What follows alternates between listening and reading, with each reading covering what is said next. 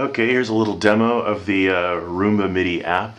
It's a little control panel. You can do various uh, movements around with of the Roomba with it if you want.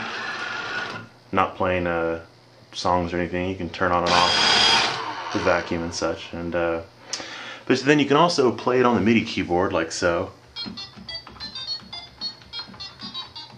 Just like a you know all the fidelity of a watch or a ringtone um, but you can also, from the MIDI keyboard, play some of the things like the um, vacuum and move it around a little bit. That's pretty neat. And so, well then what can you do with a monophonic instrument? Um, well, like a ringtone, you can start playing things like, uh, oh, Pac-Man for instance.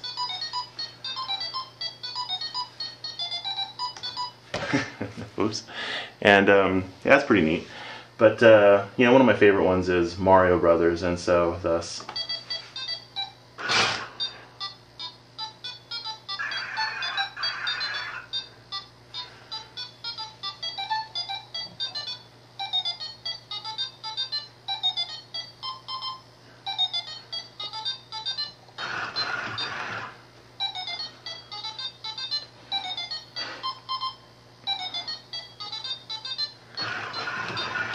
And of course it just repeats because every song needs a chorus, right?